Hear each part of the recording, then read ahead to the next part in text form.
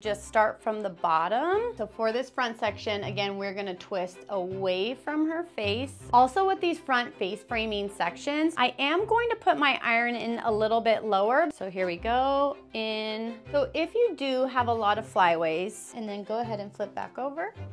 Perfect. All right, even though school is back in session, those summer beach waves never leave our heart and girls love them for school. So I am going to show you a very quick and easy way to achieve these luscious beach waves with our flat iron. Okay, so the first thing that I've done is prep Madison's hair with a little bit of heat protectant before I section her off. Okay, so when we're gonna start curling with the flat iron, you have two options. You can pre-section this out if you want, or you don't have to use any clips at all. You can leave it down You can just pull sections that you feel. I personally like to just start from the bottom and this is gonna end up being like three pretty big sections, her nape, her midsection, and her crown. And I'll just flip up this and then I'll work the bottom and then move up to my next section. Okay, so now we are ready to jump into the curls and I wanna talk a little bit about the heat setting. So if someone has a little bit more fragile or damaged hair or if it's bleached out, you wanna set this iron pretty low at the 390. This hair is uncolored, it can stand a little bit more heat. I'm gonna be working through her hair a little bit quicker, so I have her temperature set to 420 today. Okay, so I've taken a section and really how big your section is is gonna depend on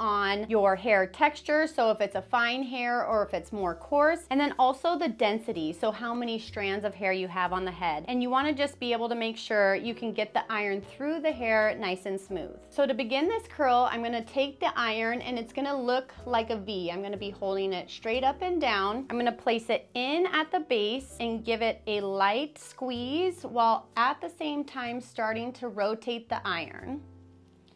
Flip the hair over and then gently pull down. And you don't have to move too fast through this. And then I like to go a little bit faster through the ends all right, here we go again in our V, straight up, slightly push down and rotate one halfway and then just pull, pull, pull, and then a little quicker through the ends because those are a little bit more dry. They tend to curl really easy. And so I want them a little bit straighter. So you can see the difference here. This is gonna give us a more curly look. This is gonna give us a little bit straighter, more beachy wave look. Okay, so before I move up to my next section, right now I'm gonna add a light light hold hairspray and a little bit of texture spray. That way I can really make sure every curl and wave is getting an even amount of product on it. All right, so now we are in our middle section and I'm going to start on her right side and then work my way to the left. These sections near the face, I like to personally curl away from the face to really open up those cheekbones for the style. All right, so for this front section, again, we're gonna twist away from her face same. V is gonna go straight up and down. Start to clamp down, twist once, hold,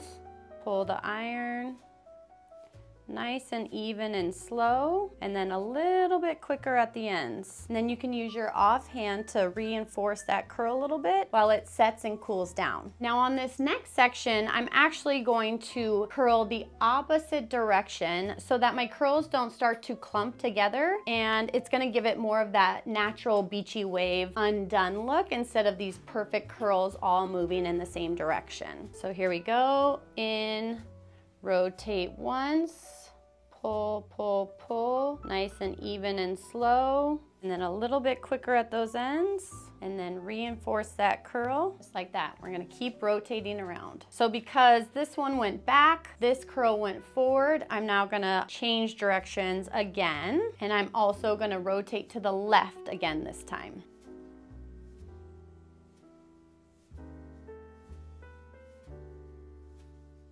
So if you do have a lot of flyaways, one thing you can do even before you curl with the flat iron is you can tame these little flyaways just really quickly. Not You don't have to flat iron it all the way through. You just kind of tame those little flyaways and now we're ready and prepped for the curl. Rotate nice and slow and even till we get to those ends and then a little bit quicker.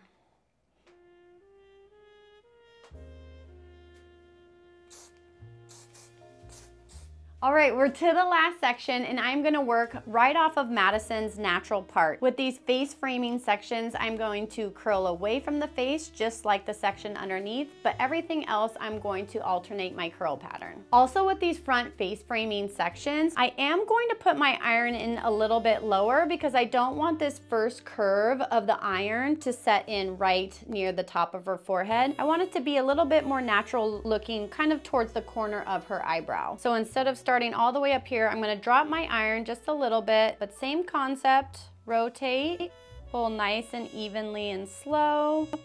And then as we get to those ends, a little bit quicker. Then I'm gonna reinforce that curl and let it cool naturally.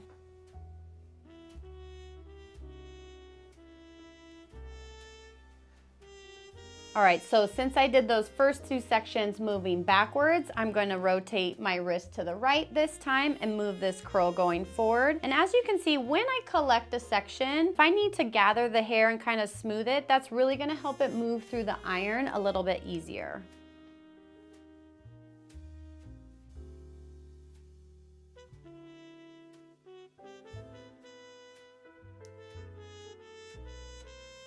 As you can see, this section needs a little bit of gathering and you can either use your hand or I also really like to use our mini polishing paddle to kind of collect and gather the hair and then go in with my flat iron.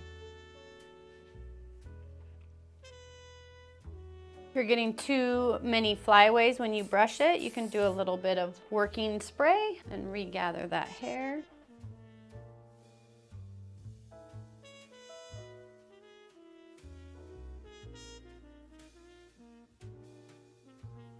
All right, so we're back near the face. And so I'm going to rotate to my right side, which is going to take it away from Madison's face.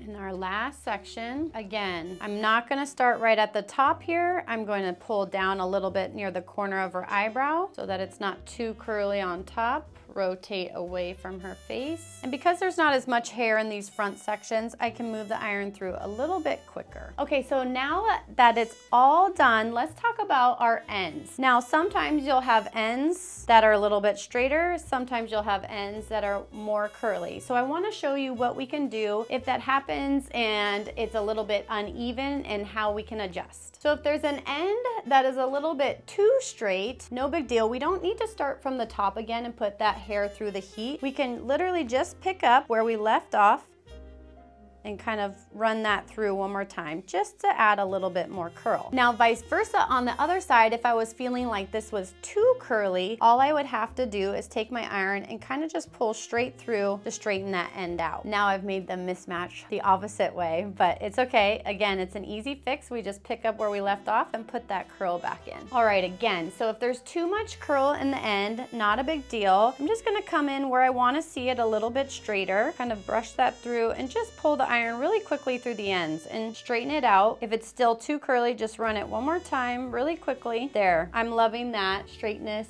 and curl pattern. All right, so even though we are doing beach waves, we really wanna let those curls set and cool for at least 10 minutes if possible. A few moments later. Okay, 10 minutes is up for Madison. So what I'm gonna have her do now, and whether you're doing your own hair, you're just gonna flip yourself forward, or if this is on your client, you're gonna have your client flip forward in the chair. We're gonna throw all the hair forward, and I'm going to apply texture spray throughout all of Madison's hair. And try to be quick with this part because you don't want them to get too lightheaded from flipping back over. You can kind of break up these curls with your hand and then go ahead and flip back over. Perfect. And then I'm also going to put a little bit of texture spray in the top section here. Whether you're using texture spray or hairspray or dry shampoo, it's gonna give it a little bit of that like grit and hold and kind of that salty summer beachy hair. All right, there you have it, the summer beach waves with the flat iron. And I really love using a flat iron for this look. It's quick, it's easy, it's just one rotation with your wrist instead of having to maneuver a curling iron in there. And I hope you enjoyed. Make sure you like and subscribe.